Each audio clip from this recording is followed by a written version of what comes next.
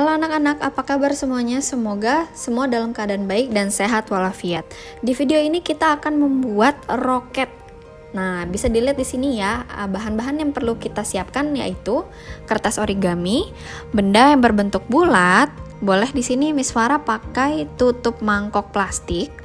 Lalu ada aqua botol kosong satu, double tip atau lem dan juga gunting. Nah, di sini kita bisa pakai double tip agar hasilnya lebih uh, maksimal dan tahan lama. Langsung aja kita lihat di sini ada uh, pemilihan warna yang di sebelah kiri itu warna yang harus ada warna kuning, orange, dan merah. Sedangkan warna yang di sebelah kanan itu warna optional yang akan kalian butuhkan untuk menghias roketnya. Nah, langsung aja. Langkah yang pertama, kita ambil warna yang optional tadi, ambil salah satunya, kita lipat sehingga membentuk uh, segitiga seperti ini. Kita lipat dua Nah, lalu setelah itu kita lipat lagi. Jadi segitiga yang lebih kecil. Usahakan anak-anak melipatnya simetris ya dan rapih. Nah, coba kita cek dulu. Sudah dilipat seperti itu. Lalu kita lipat lagi dari yang bawah ke atas. Nah, bisa ya anak-anak ya. Kalau sekiranya bingung, play lagi nanti. Lalu di bekas lipatannya itu kita gunting. Nah, kita gunting. Jadi kita memiliki dua buah segitiga seperti ini. Oke, bisa ya. Kita siapkan gunting dan dua segitiga yang sudah kita buat sebelumnya. Di bagian ujungnya, di sisi sebelah kanan atas, kita bisa gunting ya. Jaraknya bisa sekitar 1 cm. Nah, bisa dilihat seperti itu.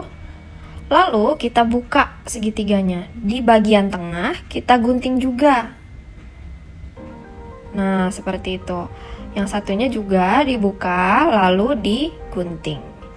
Jangan lupa ya, karena nanti ketika uh, di bagian tengah ini tidak digunting, anak-anak akan kesulitan menempelkan sayapnya. Di sini ada tadi uh, sisa dari kertas pertama yang sudah kita gunting. Nah, lalu sekitar 1 cm anak-anak potong lurus saja. Ya. Langsung dapat dua seperti ini. Sudah, kita siapkan lagi satu kertas origami optional warnanya ini untuk membuat bagian atas roketnya. Lalu anak-anak siapkan benda yang ukurannya bentuknya bulat, lalu pensil dan lakukan seperti yang ada di video. Nah, kalau sudah, kita gunting.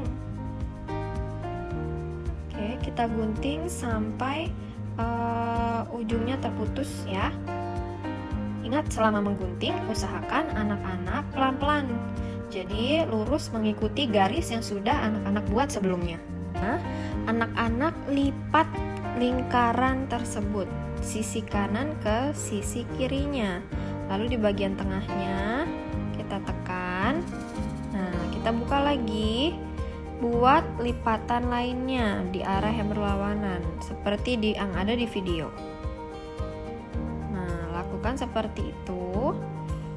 Lalu kita ambil gunting. Di salah satu sisinya akan kita gunting. Nah, ingat selama menggunting usahakan anak-anak berhati-hati ya. Oke. Lalu ambil satu kertas akan membuat lingkaran yang jauh lebih kecil. Lingkaran yang kecil-kecil ini nanti akan kita jadikan sebagai jendelanya roket. Nah, anak-anak boleh mau buat 4 atau 6. Boleh, silahkan saja. Ini hanya cara uh, contohnya ya. Nah, lalu kita gunting setelah membuat pola. Nah, di sini Miss Farah buatnya 4 dulu. Setelah itu, setelah kita gunting, anak-anak bisa memulai membuat lingkaran di bagian dalamnya dengan menggunakan spidol hitam. Kalau misalnya di rumah tidak ada spidol hitam, boleh pakai pulpen ya. Kalau sudah, sekarang kita akan membuat hiasan menggunakan kertas kuning, orange, dan merah. Nah, lalu kita balikan kertasnya karena kita akan membuat pola. Ingat, selama membuat pola, usahakan anak-anak mewarnai, sorry, menggambarnya itu di bagian yang berwarna putih Tuh, dari paling kiri itu kita sudah membuat pola yang paling besar. Diawali dengan warna kuning, di tengah warna orange, dan paling kanan warna merah. Nah, jadinya hasilnya seperti ini. Kalau sudah seperti ini, anak-anak tinggal menempelkan double tip ya. Nah, lalu yang warna orange, yang ukurannya kedua terbesar nih yang warna orange.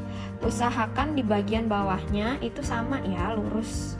Nah kalau sudah kita tempelkan yang berwarna merah. Jadi deh seperti ini. Ya bagus ya. Lalu kita mulai melapisi aqua ambil kertas origami kalian kalau misalnya kertas origami kalian menutupi sampai keseluruhan aqua kita harus potong dulu ya sehingga terlihat seperti ini nah di sini Miss Farah sudah merekatkan double tip di bagian sisi dalam yang warna putih di bagian origaminya agar bisa menempel di aqua botolnya. Kalau sudah kita ambil gunting, lalu kita gunting sekitar 1 cm sampai 2 cm seperti ini dan berjarak ya anak-anak. Gunanya untuk apa? Gunanya saat kita lipat ke dalam hasilnya akan lebih rapi. Nah, seperti ini.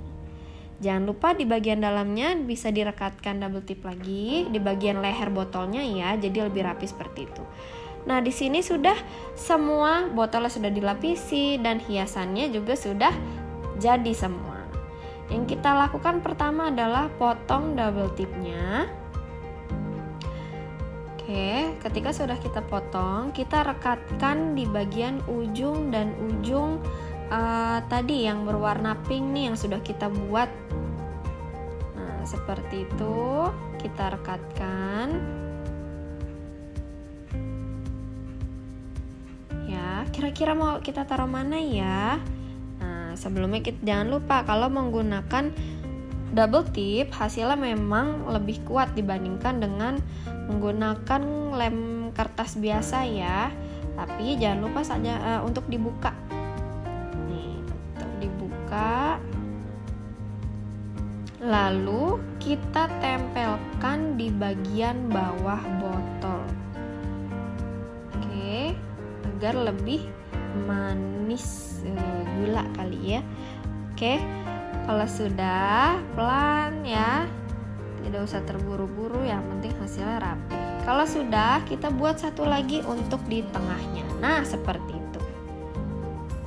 Oke sekarang kita potong double tip kecil-kecil untuk kita tempelkan ke belakang lingkaran-lingkaran yang akan kita jadikan jendela nah seperti itu ya lalu kita rekatkan lingkaran tersebut ke botolnya. Anak-anak boleh perkirakan mau diletakkan di mana. Nah, bisa seperti itu ya. Terus ditempelkan semua sampai lingkarannya habis. Lalu kita akan membuat bagian atas roketnya. Ambil yang uh, warna biru, lalu kita uh, berikan lem kita lem di bagian sisinya, lalu di bagian tengahnya. Setelah itu baru kita rekatkan. Sini rekatkannya juga pelan-pelan ya, jangan sampai sobek. Sudah? Seperti bentuk kerucut, lalu kita ambil kertas warna hijau atau boleh kertas apa saja, anak-anak. Kita potong ujungnya sedikit lalu kita tempelkan ke atas aqua menggunakan double tip. Nah, seperti itu. Kalau sudah ditempelkan, lalu gunting kembali double tipnya dan rekatkan di bagian ujung-ujung kertas yang berwarna hijau. Seperti itu ya. Kalau sudah, jangan lupa nanti dicopot uh, lapisan double tipnya agar kita bisa menempelkan bagian yang berwarna biru ke bagian di atas roket. Kalau sudah kita potong agak besar ya untuk uh, ditempelkan di bagian sisi kanan dan sisi kiri roketnya. Nah, double tip ini fungsinya untuk menempelkan sayap yang tadi sudah kita buat di awal. Warna pink ini. Jadi masing-masing diambil satu di bagian yang tadi sudah kita gunting, kita lipat. Lalu kalau sudah kita lipat secara keseluruhan seperti yang ada di video, bisa kita langsung tempelkan ke badan roketnya. Nah, kalau sudah bisa ditempelkan di sebelahnya. Taram, jadi deh. Tuh. Terakhir, hiasan yang terakhir kita akan menempelkan apinya di bawah nih. Ujungnya kita lipat sedikit untuk space double tip. Lalu kita tempelkan di bagian tengah botol seperti ini. Ya. Jadi deh rocket ship is ready to go kalau sudah jangan lupa difoto menggunakan background yang anak-anak sudah buat di pertemuan sebelumnya. Oke, baik. Cukup cukup sekian video hari ini. Semoga bermanfaat. Wassalamualaikum warahmatullahi wabarakatuh. Bye bye.